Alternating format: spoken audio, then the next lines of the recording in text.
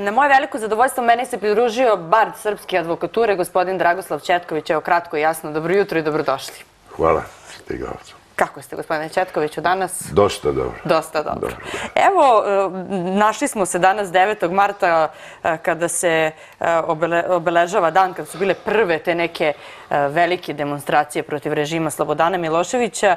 I ono što je interesantno, što mnogi znaju, ali eto, za one koji ne znaju, da napomenemo da ste vi zapravo bili u tim trenucima, vi i gospodin Kastratović, ako se ne varam, samo dva advokata upravo uz Vuka Draškovića u tim trenucima, tako? Te večeri kad je hapšen, ja mhm. sam bio tačno, ja sam bio na e, studiju B, tada su radnici UDBE ili šef UDBE za grad Beograd, ne sam se sada njegovog imena i prezimena, tražio je da mu se predaju trake sa, kao, koje su snimane povodno mhm. demonstracija, jer je studio B neprekidno vrteo te trake i tu je bio gospodin Kojadinović koji me je pozvao došao sam, uspeli smo da to pitanje rečemo i u toku, u toku tog boravka na studiju B u Masarikovoj ulici javio, javili su mi se Kastratović i gospođa Dana Drašković uh -huh. i saopštili, tenkovi su išli tada ulicom, tada ulicom Mašala Tita i ispod studija B i tada mi saopštavaju da je Vuk uhapšen i da bi želeo i da je odveden u DB u Knez Miloša, da bi želeo da pođem sa njima.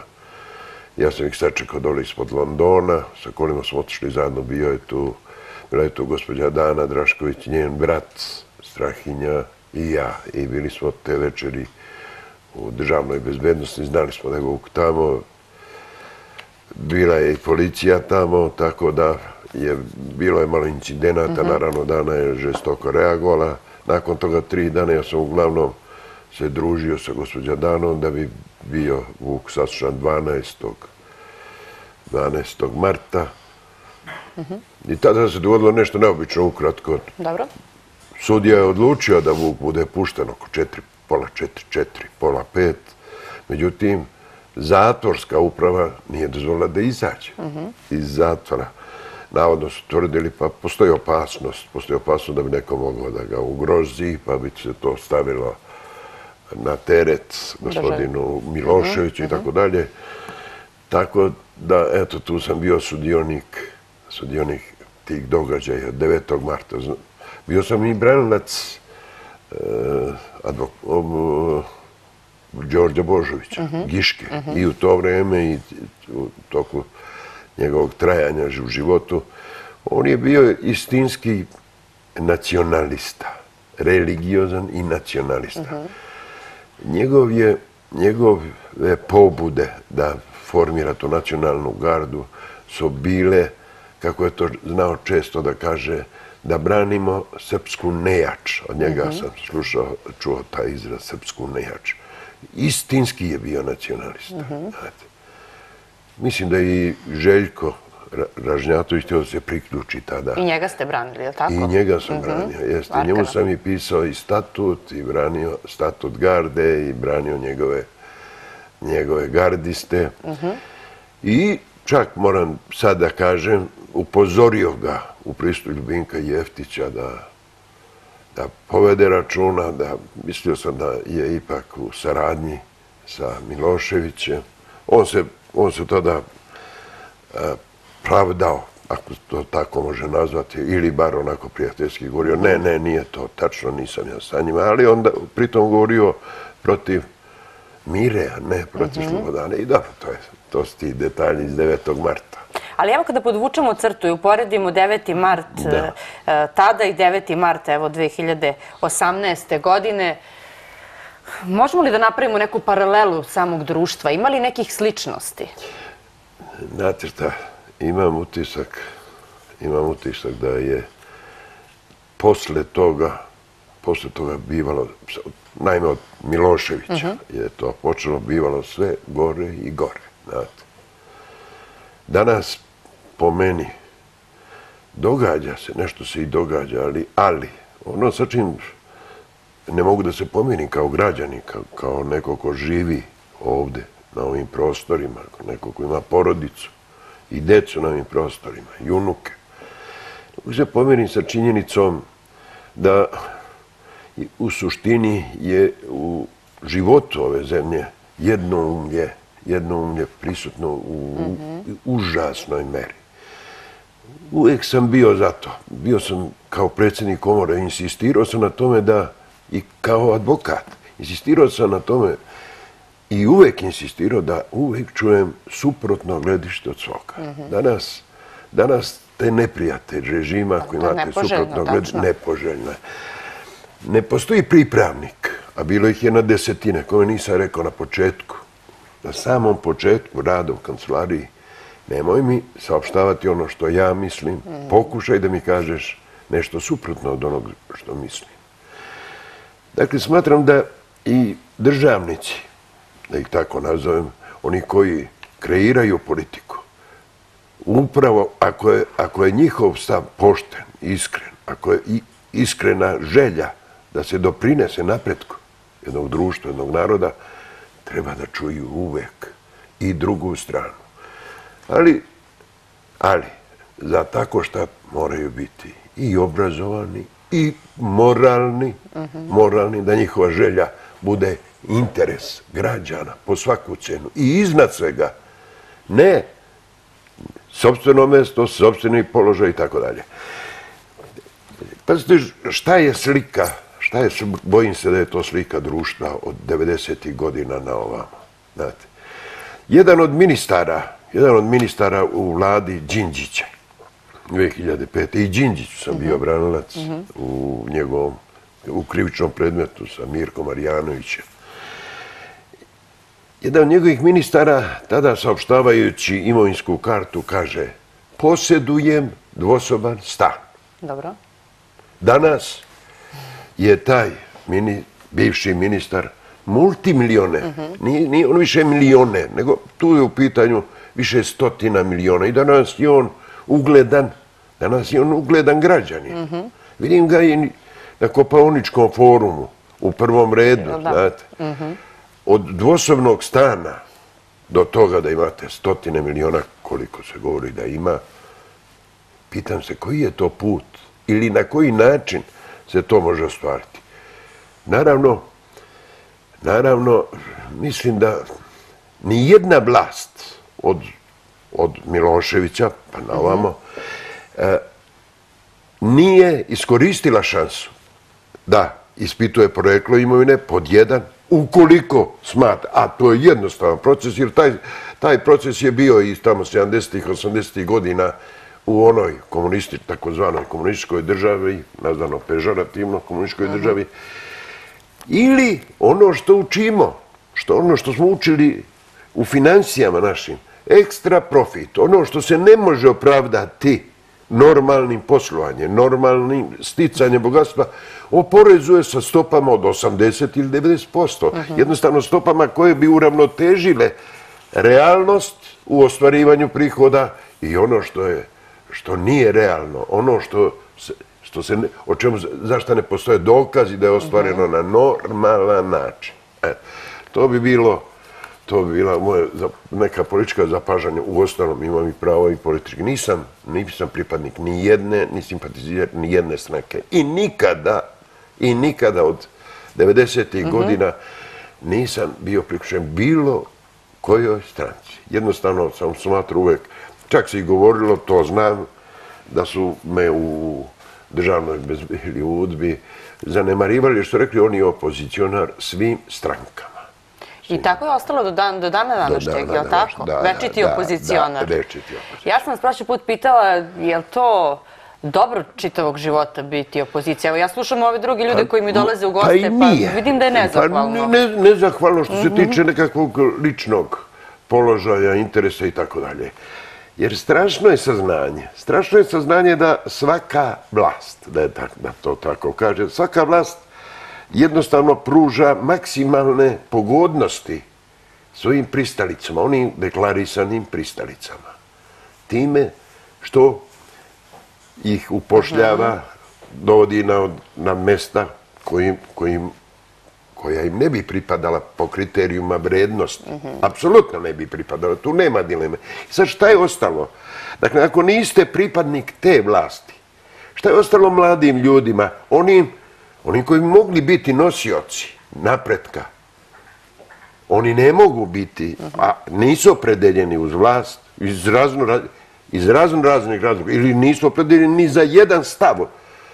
Onako kako ni ja ne vidim vrednosti u bilo kom stavu u postojećoj vlasti i opoziciji, otvoreno govoreći. Dobro. Znate, onda šta je ostalo tim, tim vrednim, izuzetno vrednim ljudima? Inostranstvo. Inostranstvo. Dakle, odliv mozgova. Moram da kažem kako sam shvatio negdje 1991. godine, boraveći kraj 90. početkom 1991. godine, boraveći u Americi. Da, je Amerika kupovala, da je kupovala sve što je vredno, duhovno, stručno i tako što je vredno svetu. I to, to, je, to je bila mala investicija u odnosu na školske programe. Školski programi su nikakvi, oni ne koštaju mnogo Ameriku. Ali zato sredstva ušteđene od svega toga, oni su davali kupujući naučnike iz zemalja, dakle, odakle su mogli dobijati sve ono što su mogli veoma skupo prodavati. Mi ih iškolujemo, onda im napravimo takvu atmosferu da treba da odu. Tako je, nedopustivo. Nedopustivo. I da li smije to neko da kaže? Da li smije da ponovi ono što sam ja vama rekao? Pa mora da mhm. ponovi u vreme ovih poplava. Rekao sam vam mhm. prošli put. Pa mogu li da kažem kao građanin, da izrekne jednu stvar, da mi neko odgovori. Ako smo prošle godine, ako je zvanično saopšteno da je šteta od suše bila 600 miliona evra, sad ćemo sabrati štetu od poplava sa 50, 20, 30, 50 miliona evra. Pa dodajte, dodajte, dodajte ta sredstva, pa onda kažete, ali šta se moglo uraditi? Šta se moglo uraditi da se štete izbegnu?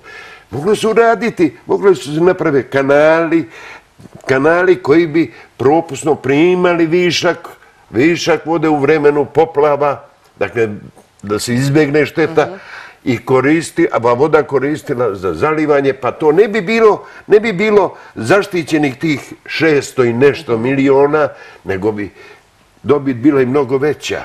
Dakle, ko o tome razmišlja? Razmišlja način u kome dajete po deset hiljada za zapošljavanje jednog radnika strani firmama je za mene nerazumna stvar. Pa imali ste mogućnosti da zaposlite sa tim sredstvima, sa tim gubicima, sa tim što ćete gubiti, mhm. što će vas koštati, zaposliti hiljade i hiljade ljudi i mladih ljudi. Ali to niste učinili. Ima neko na telefonskoj vezi, ako se ne varam. Dobro jutro, poštovanje. Dobro jutro. Dobro jutro ili dobar dan. Da. E, puno vas pozdravljam, oboje, e, bez obzira na razlike u godinama i zvanju i znanju. E, slatke se mi oboje. Mhm. Htjela bih samo jedan komentar. Kažite. Gorica se Karabur, mi inače zovem. Ovako, gospodin Vuk Drašković, koga sam izuzetno cenila, ne mogu da kažem da ne, sve do momenta dok, tu, dok nisam to čula na televiziji pre par godina iz njegovih usta, znači gostavo je kod Leje Kiš i tako dalje i tako dalje. Ovaj, I rekao da se zabavljao sa gospođom Danom svoje vremeno, pa su se razišli, e, pa se on zabavljao sa drugom devojkom, ona verovatno sa drugim i tako dalje.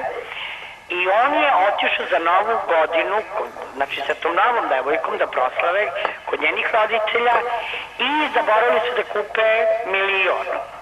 Vino, Fruškogorski biser ili već nemam pojma, on je otišao samo to da kupi sve o jedanu i više se nije vratio. Dobro. Da li je moguće da takav jedan čovek koji ne može sobom da vlada, da vlada državom. Ja mislim da ne, složit ćete se. E onda, pošto ovaj, jednom prilikom smo se sreli, uh, on se ludački nasmajao na sve ovo, ja sam mu to ponovila šta je rekao, i ja sam mu ispričala, ako mi dozvolite samo jedan kratak pis koji me podsjeća Ajmo na današnje samo, vreme i u, u današnjoj, nažalost, Srbiji.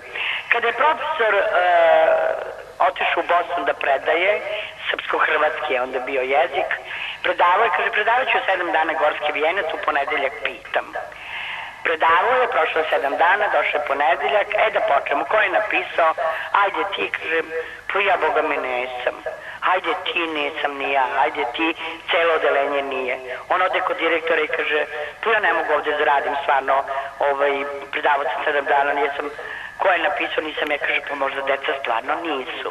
On onako izrevoltiran ode, napušta, uzima radničku knjižicu, napušta školu i tako dalje iz Zumba gdje sam ja došao sam sebi ali naglas i pita ga prvi milicijanar koji je naišao, što zumbaš prijatelju? On mu ispriča celu stvar, kaže, a izvini na koga sumnješ da je napisao.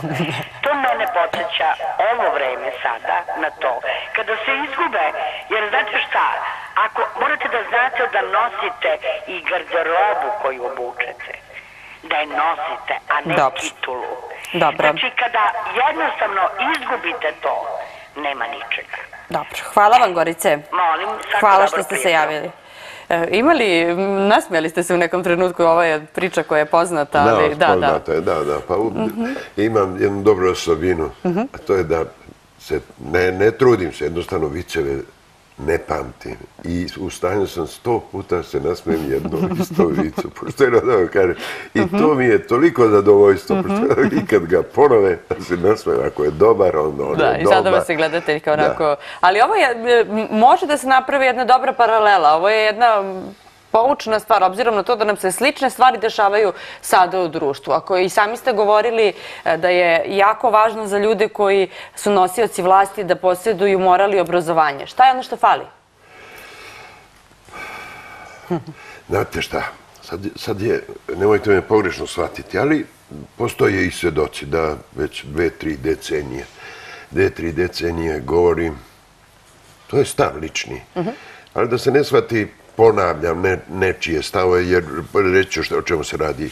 Smatram da ovom društvu je potrebna moralna obnova.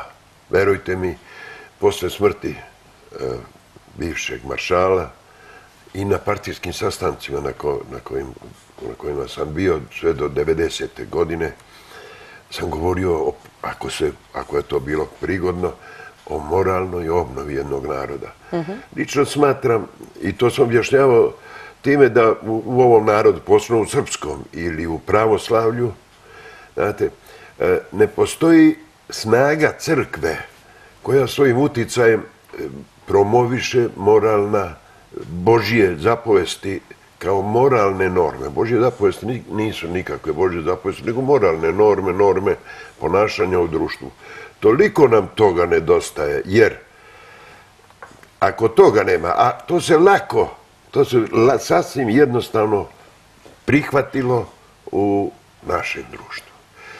Istu tu stvar, ja se izvinjam, i 98. godine ulazeći u Rusiju, e, ulazeći u Rusiju preko Vladivostoka, Solženjicin je izgovorio na ulasku u Rusiju, a šta će preporučiti, šta je potrebno Rusiji za napredak tada, kada, kada se i kod njih vrši tranzicija. On je rekao, moralni preporod pod jedan, pod dva moralni preporod, pod tri moralni preporod. To, to što sam pričao, poneko je i prihvatio iz vremena, iz ra, raznih perioda. Neko je prihvatio time što je mogao da mi kaže ovako, pa mislim, mislimo da sam upravo, postoji i objašnjenje zašto sve to, ili zašto te, ti moralni postulati, jednostavno, koji su, koji se stvarali iz iz davnina ili za sva vremena i ne ubi, ne ukradi, ne učini drugom što ne želiš sebi i poštuj starije i ljubi istinu i, i sve ostalo. I te kako u životu, samo u životu pojednostavljeno bi donelo mnogo napretka. Tada bi i naš izbor, šta je to vredno ili zašto se opredeljujemo? I za koga se opredeljujemo, bio pravi. Naša opredeljenja, vidite kakva su. Jednostavno, svi oni koji su dolazili na vlast, kao što rekoh, da je taj bivši ministar od dvosobnog stana postao multimilioner, znate, danas ne bi mogao, ne bi mogao da bude ni multimilioner, niti da prolazi tako da, da niko se ne pita oda, odakle, iz čega, da li je to rezultat rada, posebno poštenog dela posla, znate. I drugo, šta je to vlada učinila? Ima, ima nešto što, što mi smeta kad bi govorili o ustavu ili Dobro. ono što ste mi možda i najavili, o čemu bi trebali da govorimo, Jeste. jeste da norma postoji. Norma postoji. Ona je inkorporirana i u zakone. Ustavna norma, u zakone. Pa je formiran, pa je formiran i sud koji bi trebao da zaštiti ustavnost. Međutim, on, taj sud, po meni, to, to slobodno kažem, ne postoji. Taj sud ne radi niti kvalitetno, niti radi ono što treba da radi. Imam utisak da su oni veoma zainteresovani samo za svoj sobstveni položaj, za svoje lične dohodke i što manje rade, što manje talasaju, da, sve bolje. Jasno. Bolje po njih. Tamo, da, apsolutno, po njih, apsolutno. Dakle, bolje ne dirati ništa i tamo gde, gde, gde bi morali da razreše i suko, da se sukobe sa zakonodavstvom, što znači sa vlašću koja, koja je takve zakone donela, e, tu se ne donose odluke nikako. Tu se odluke ne donose nikako. Znate. Primjer radi, meni nije poznato da posle 55 godina, proteklih godina rada, nakon diplomiranja u 56, to i ove godine i navršavam punih 56, plaćam doprinose za penzijsko osiguranje. Dakle, priznato mi je pravo na penziju do 45, sa 45 godina staža. Dobro. Ali ovih 10, kome plaćam? Pa ja sam u 40, ne ja, nego svi ti koji su u sličnoj situaciji, su u tih 45 godina plaćanja doprinosa alimentirali i invalidske penzije, i male penzije, i sve ostalo. E sad, sad, sad doživljavam, plaćam doprinos ni za šta, ni za šta, ponovo, penzija koju, sa korektnim prijavljivanjem primanja pre više decenija, moja penzija Kobejag je nešto veća, nešto veća, ali ona sada 10% umanjena. Dakle, plaćam doprinose, umanjuje mi se penzija i da nastavljam sa plaćanjem doprinosa. Ustavni sud se ne izjašta. Čujem da su penzioneri pokrenuli ta pitanja. Jesu. Jesu, ali nema Odgovora odgovora. nema. Student, advokati su postavili pitanje notara i tako dalje.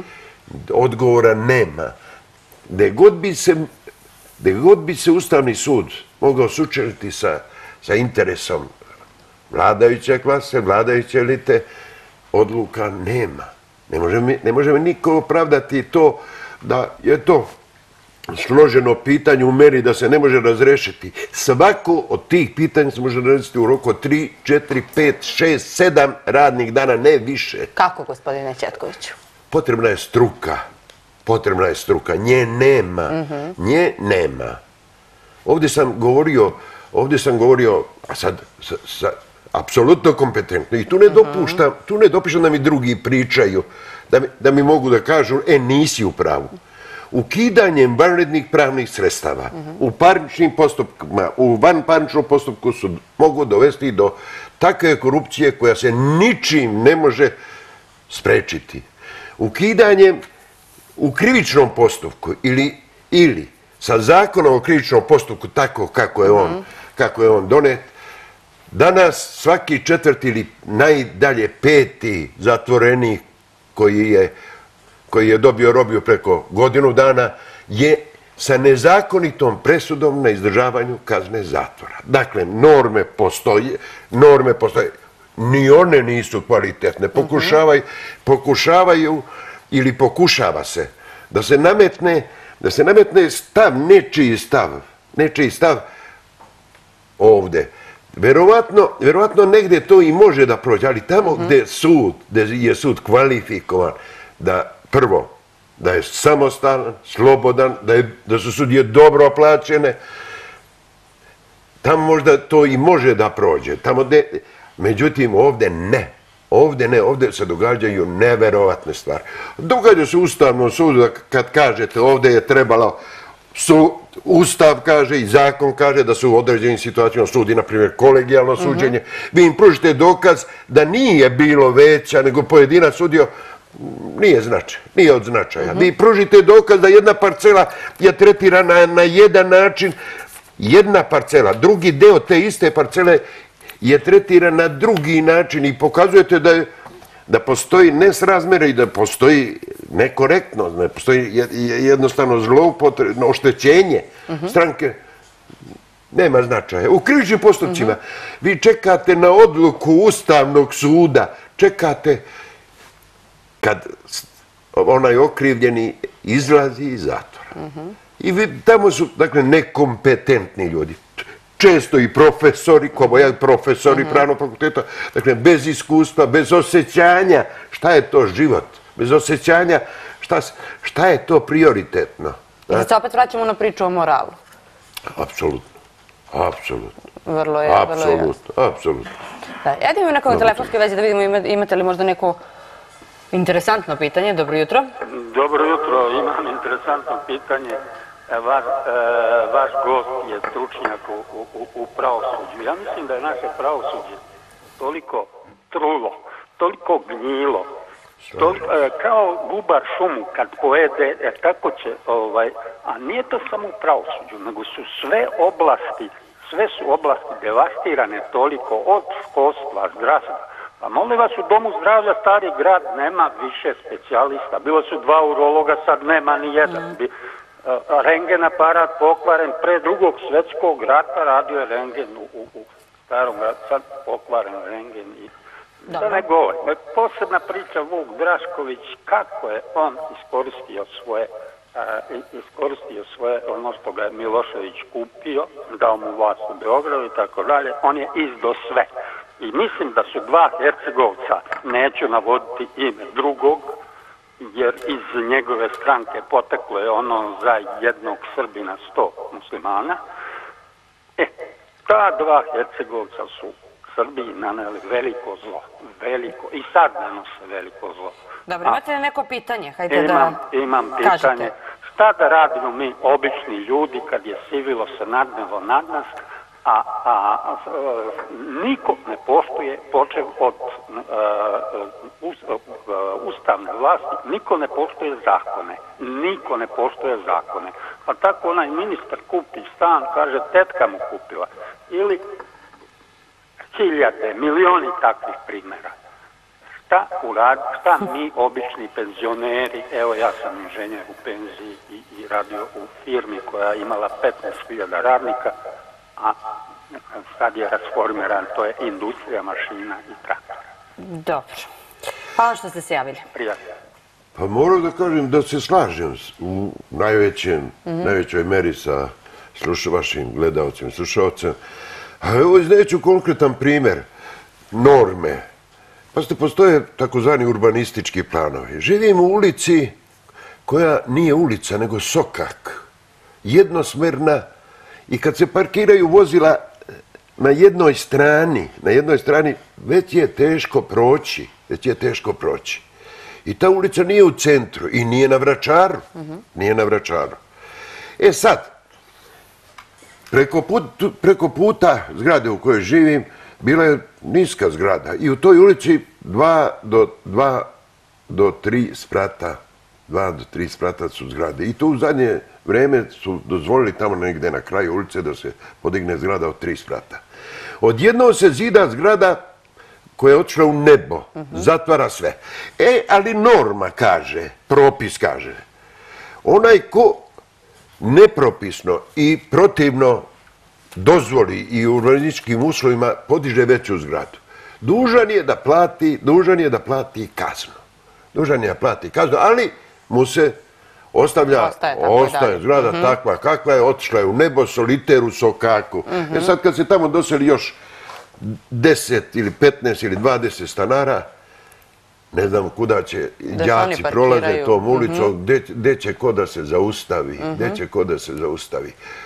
Kakva je to norma? Umjesto, a bilo je, bilo je govor o tome, sve ono što bude mimo propisa, bit će rušeno. A sad kaže, ne, ne, to ćemo naplatiti, naplatit ćemo kaznu. Dakle, budžet treba sačuvati. Ili absurd.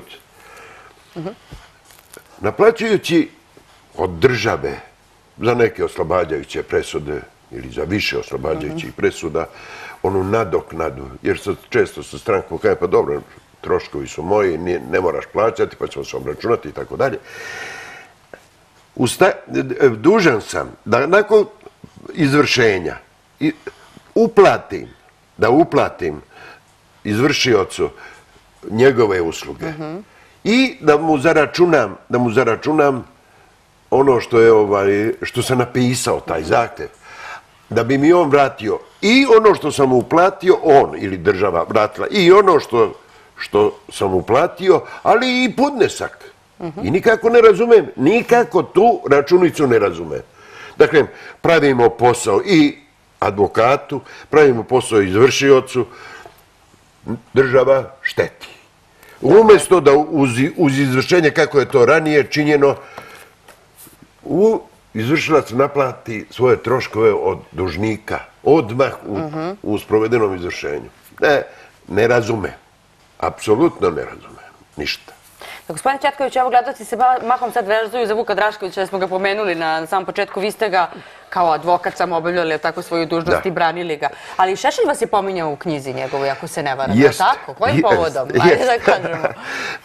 Pa u njegovim knjigama, to je, je zanimljivo, ja se tome, ja se tome smejem, znate. U više, na više mesta me pominjao. Negdje kao posjedujem informacije, ali u dva slučaja sam bio prinuđen, kažem, iako je, to, to je Laufer mi javlja i Glogogov kolac u srcu Dosa i ne znam nija šta sve, ne. I mog brata, pokojnog brata koji je bio koji je profesor univerziteta, od Beogradskog univerziteta bio često, ali u dva slučaja, u dva slučaja sam protiv Šešelja podneo i tužbu, krivičnu tužbu za klevetu. Jer na jednom mjestu je rekao, da sam sa svojim bratom dugogodišnji saradnik DBA na vezi sa nekim D. Tepavčićem, zvani Tepa. Nikad ni čuo. I nikada, što je zanimljivo, i to ponavljam, nikada u životu nisam znao ni jednog službenika, dakle, govorim, znam i današnje, veoma visoke, ljude na visokim položajima, da tako kažem, ili ugledne, ili poznati, i tako dalje. Ali iz, iz državne bezbednosti nikad nikoga nisam znao sve jednog bivšeg šofera iz DB. Ali nikoga, znate, niti, niti pristuo nekom razgovoru, niti dva mhm. kontakta sam imao, ali to su bila dva službena kontakta kao predsjednik advokatske mhm. komore, kad je privođen Srđa Popović, mhm. bivši opozicijonar, poznati pokojni Srđa Popović, I drugi put kad je bio prijem Šeksa u advokaturu, to je bilo u vreme mog mandata, jedan i drugi slučaj. Mhm. Pozvali su me za Srđu Popovića, priveden je, zove, zovu me da, kao predsjednik komora, da se interesujem i da, da se angažu, jest. Mhm.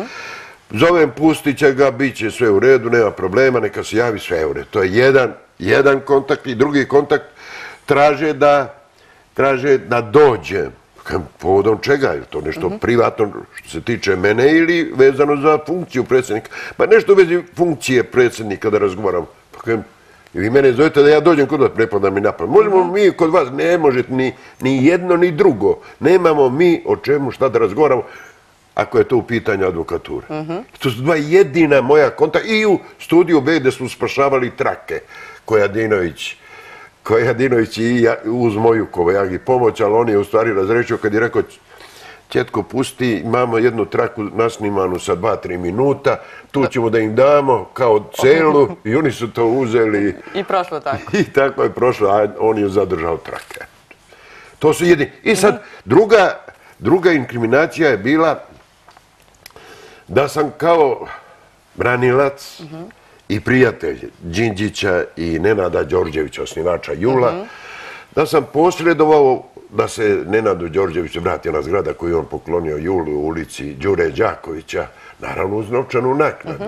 I sad i jedno i drugo je nešto što povređuje i profesionalni moral i mene kao čoveka, kao građanina, e, ugledne porodice, to negde moram da kažem, ali ko to danas ceni? Znate, u Srbiji U Srbiji se nečije stvarni ugled, znate, ne ceni. Ne, nemojte to, nemoj, nemojte nam. Kad sam izgovorio, ili izgovaram i sad, ako u porodici, u dve porodice strica i mog oca danas imaš sedam, osam doktora nauka, znate, sa, sa univerziteta, ne sa nekakvih škola, od toga pet profesora univerziteta, onda je to ugled, ali Ali, ali nisam smeo o tome da govorim, niti je bilo kod iz porodice o tome govorio, jer to je nešto što će vas, što će vas, što će vam samo doneti nebolje i neprijateljstva. Znate. Kako je bilo kada ste bili predsjednik advokatske komore Beograda? Ako se ne vara, sa vi mi ispravite ako grešim. I advokat Borivoje Borović je polagao zakletvu kada ste vi bili predsjednik advokatske komore Beograda. Jeste, jeste. Kako pamtite to neko vreme?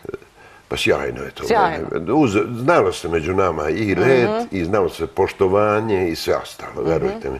Poštovali smo se uzajamno i, i mi stari advokati poštovali smo novo upisano i moram da, moram da kažem da u to vreme, vreme mog mandata u dva, izuzetan broj sjajnih advokata je upisan. Mhm. Neki su kao što je Miki Vujović, na primjer, ostavili advokaturu, za mene je bio sjajan, perspektiva njegova kao advokata bila je da će to biti sjajan advokat, ali on je otišao tamo, osnovao onu televiziju i tako dalje. I mnogo danas, danas sjajnih, odličnih advokata, među njima i mladi kolega, tada, ja sam... Mladi ja, kolega, ga i pa sad- zato sam to i pomenula, da napravimo malo paralelu ko je kad Jeste, jeste, jeste, Bora. I on nije često znao to da, da ispošti i da kaže, cenio je to i kaže, ja sam kod tebe polagao zakletu. I njemu je to bilo značajno. I bilo je, bilo je advokata koji su upravo tražili, ja sam to u suštini prepuštao i podpredsjedniku i sekretaru komore, Ali nekima je bilo važno da to učine. nekima je bilo važno i tada sam dolazio, samo tada. Nisam smatrao da treba na taj način da, da stičem nekakav autoritet. O ugledu da ne govorim ugled, smo pomenuli malo, kažem, malo času. Pa, pa evo, što se ugleda tiče, u to vreme, u to vreme prvo odbio sam da budem predsjednik Komore Srbije, iako sam bio podržan, podržan ovdje u Beogradu. Rekao sam, pa neka to u ovom mandatu budu Šoškić, Kastratović. A u mandat, tom drugom mandatu za Beogradsku, za predsjednika advokatske komore Beograda, niko nije želeo da bude protiv kandidata. A danas je to rat. Danas to je to rat neshvatljivo. Ja, ja, ja sam i tada smatrao, i danas smatram, da je to izuzetna odgovornost, da je to, da je to nešto što čovjek mora da se dobro razmisli, da se dobro razmisli ako prihvata. Danas sam siguran, ja ću moram da kažem da, da, da, ne- da nam ne istekle vreme. Mislim da jedan od bitnih činilaca u demokratizaciji društva, u nekakvom uspostavljanju nekakvog normalnog stanja, bi morala da bude advokatura. Zamislite, zamislite jednu asocijaciju ili jednu službu ili jednu delatnost u kojoj imate preko 10.000 intelektualaca, toliko ih je u Srbiji. Dakle, 8 ili 9.000 9.000 advokata i dodajte tome hiljade, hiljadu, dve, tri advokatski pripravnika, znači oni koji su završili pravni fakultet. To bi morala da bude snaga, snaga koja bi kritičkim stavom i, i ne samo kritičkim stavom, nego e, da utiče, da utiče na ono što je zakonodavstvo, da utiče na ono što šta je u pravosuđu, da utiče šta je ono u društvenom životu, da, da utiče na to šta je pravedno, šta je nepravedno, šta je racionalno, šta je neracionalno. To je snaga. Ne mogu nikako, žalosno, ja sam žalostan zbog toga, ne mogu nikako da kažem, nikako da kažem ili da da shvatim, da se, da se ne razume, da radeći, da radeći na taj način, u interesu, u interesu građana, jer ljudi hoće, hoće i zakonitost, hoće poštovanje ustavnosti, hoće moral, hoće sve. Da ne razumeju, da se u advokaturi ne razume da se time dobija podrška. A znate koga? Pa oni koji će glasati, koji, oni koji će birati vlast. Da tada advokat može doći i za predsjednika države, i za predsjednika, i za predsjednika parlamenta, i predsjednika vlade, i biti ministar, i biti najugledniji građanin. Tu, se, tu je ta podrška i, i svaka vlast u takvo, kod takvog delovanja advokature bi morala i tekako da uvažava i položaj advokature i sve ono što ona znači. Međutim, danas je spalo sve to na najniži mogući nivo. Nekome odgovara da izopšti advokaturu iz mnogih s- sfera društvenog života i nekih To važnih, je li tako? radi se o nerazumnim, nerazumnim ljudima, ljudima koji, na početku sam rekao, koji ne žele da čuju drugojačiji stav. A samo sa Samo sa tim drugojačijim stavom može se nešto razumeti. Nažalost, i stranke danas, šta vam saopštava i šta su nam saopštavale u oči ovih izbora? Ništa. Jednostavno, sve se svelo na to, ja sam takva ličnost, ja sam takva ličnost. Šta je to što poboljšava standard, položaj, zakonitost i sve ostalo što je od interesa za građane, Nisam, ja nisam čuo ništa. Ali o tome danas, gospodine Četkoviću, nije popularno pričati. Složit ćete se sa mnom. Pa onda, onda, re, onda... Zato što se tako ne, ne kupi određen deo u ovom slučaju glasova, evo kad govorimo o izborima. Zato što ne, ne priča se o nekim konkretnim stvarima koje mogu dopreti do svakog građanina. Razumete što hoću da vam kažem? Sasvim, sasvim, sasvim. I to, to jeste problem. To i jeste problem. Ali, vaša televizija ili dovoljno jedan, jedan list. Pa advokatska, na primjer, komora posjeduje takva sredstva, materijalna sredstva, da može štampati svoj ili može ga besplatno deliti građanima i reći ovo nije u redu, gospodo, ovo nije u redu. Pa neka vlast zanemari sve to, ali neće građani zanemariti, jer rečeno im je, rečeno im je, radite ovako, ne valja to što radite, znate. I sljedeći izbori neće biti za one dobri, za one koji mhm. to nisu poslušali, koji nisu poslušali glas, vox populi, kako se kaže. Jasno. Evo imamo neko na telefonskoj vezi, jako imamo i dalje, jel da? Da, strpljivi ste. Hvala, dobar dan. Dobar dan. Dobar dan, u programu ste. Ili više niste. Dobro, u svakom slučaju. Pitali ste me nešto mhm. o Ustavu. Htio bih da kažem jedan stav o Kosovu. Izvolite. Moj sjajan prijatelj, neću da ga imenujem, e, puno je, e, puno je tih sjajnih prijatelja i odličnih advokata mhm. sa Kosova. 81. godine, 81. godine se susrećemo, počinju demonstracije nakon smrti maršala, počinju demonstracije na Kosovu. I tada Albanci odlaze ili Kosovari odlaze u odlaze dole u rudnike, neće da izlaze. Intervencija cela eh, Jugoslavija se trese zbog svega toga. Tada razgovaramo, tada razgovaram sa jednim prijateljem koji je Kosovar, sjajan advokat, odličan prijatelj. Kažem, druže, da ti kažem da ga ne imenujem, oslovljavam ga sa imenom, sada bi trebalo, vidimo, koriste sad ovu priliku i zna se da su i neprekidno iza života predsjednika Bravara da su štrajkovali i jednostavno radili na raseljavanju Srba sa Kosova. Sad bi bilo kajem pametno da Jugoslavija, ne Srbija, prvo Srbija, pa Srbija kao Srbija u Jugoslaviji, ponudi da delove Kosova koje je stvorila komunistička vlast, koje je sa bivšim, sa bivšim eh, maršalom i Bravarom, da delove Kosova, da se plebisci dozvoli, da jednostavno postoje delovi koji ne mogu biti njihovi. I tu te delovi, te delove pripojiti Srbiji i Jugoslaviji. Ostatak pružiti šansu ovima koji su dole po rudnicima, neka se sami opredele, neka se sami opredele. Rekao mi je prijatelj, kaže, čoveče, znaš li ti, jesi ti normalan, rekao mi je, Jesi li našli da je Kosovo srce Srbije? Ja, ja dozvoljavam, dozvoljavam po mnogo čemu srce. Jel? To je ono ne, nekakav ideal Kosova, znate. Ali sam rekao, jeste, još uvijek može da kaže da je to srce Srbije. Sutra to neće biti, sutra će ono biti albansko. Sutra će ono biti njihovo, isključivo njihovo. Dakle, danas također mislim, I ja ne čujem jedino to mišljenje, nisam čuo, možda ga ima, možda ga je neko negde i saopštio. Nema, nema mogućnosti po meni.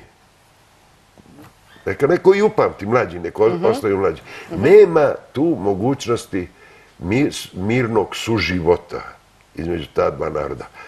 Na čijoj strani greh? Neće o tome, neće o tome. Po meni greh je, ovamo je manji greh, tamo mnogo veći. To je uslovljeno i obrazovanjem, i kulturom, i svim ostalim. Da vidite, ne prihvataju se zajednice srpskih opština i tako dalje. Prema tome, interes bi morao biti i naš i njihov, da se razdelimo, da se razdelimo. Ovo su granice, ovo su granice. I to ako mi ponudimo, onda je to onda je to veliki korak. Onda bi to svet morao da prizna da kaže, evo, odriču se onoga što je legitimno njihovo. Jeste, Kosovo je legitimno naše. Faktički nije i neće biti. I neće biti sa tim delovima, ostalim delovima. Prema tome, ta ponuda bi u razumnom svetu morala biti prihvaćena.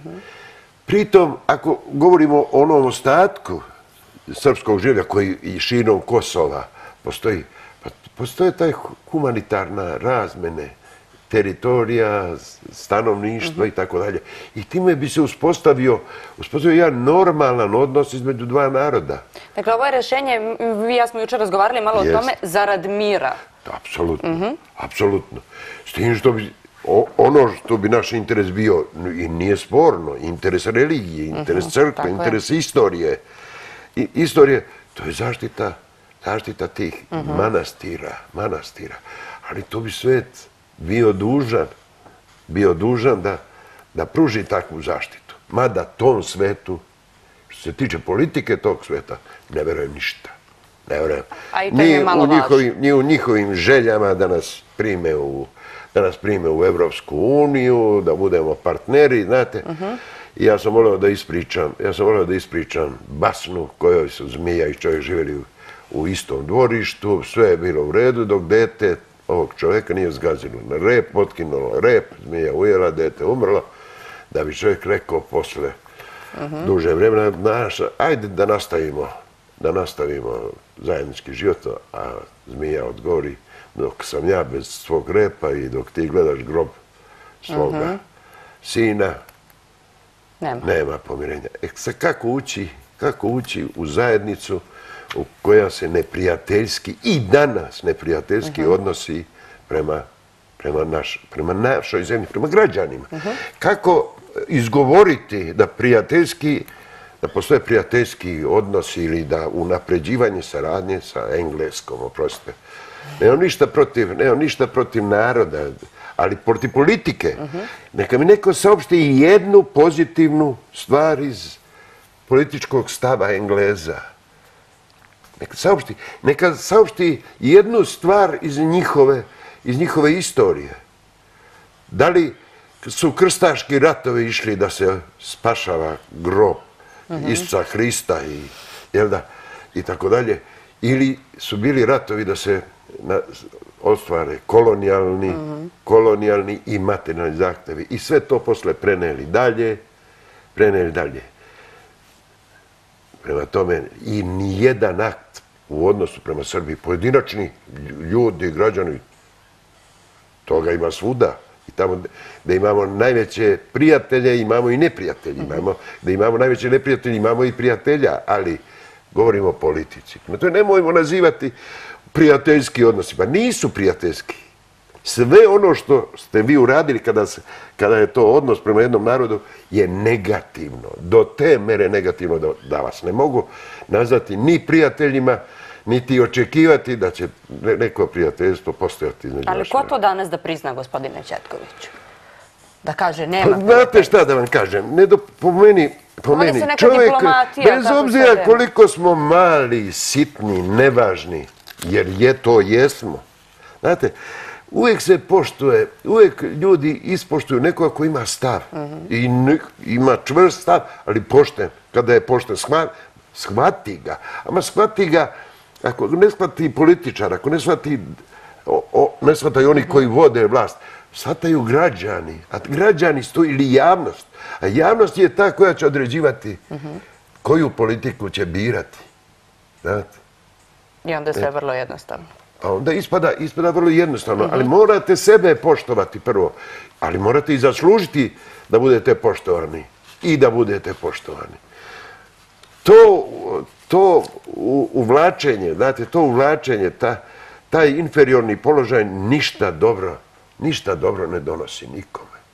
Mora se imati jednostavno reći, ovo ne ide i ne može da ide. I po pit, neka je u pitanju i standard, neka je u pitanju i zaposlenost. Ali dajte da to se može, sve to se može rešavati, sve to se može rešavati ako saslušamo mudre ljude. Mudrosti u ovo našoj državi ima koliko hoćete, ali ona je potpuno marginalizovana. Negde u, u, u kućama, u stanovima, ne ponekad u kafani, negde u druženju i tako dalje. Ne, sigurno ne tamo gdje se se, gdje je borba je za vlast. potrebna. Gdje je borba za vlast, nema je tamo gdje je potrebno. Tako Da. je. Tako je. Hvala gospodine Četkoviću, vreme nam je isteklo, verovali ili ne, ali eto, e, kada mi u goste dođe čovjek koji ima karijeru poput vas, meni sam proste da vas pozovem da dođete još koji put, pa da nastavimo razgovor. Ne završavamo ga ovom E, e, prilikom. To ne znam, to ne znam, dosta, dosta dugo traje, vjerujte mi, dosta dugo traje. Hvala vam na izvojenom vremenu. Molim. Poštovani gledalci, mi smo stigli do samog kraja naše današnje emisije. Ja vas pozdravljam, želim vam da prijatno provedete današnji dan, ali i vikend. Mi se ponovo vidimo u ponedeljak sa početkom u 10 časova. Doviđenje, prijatno.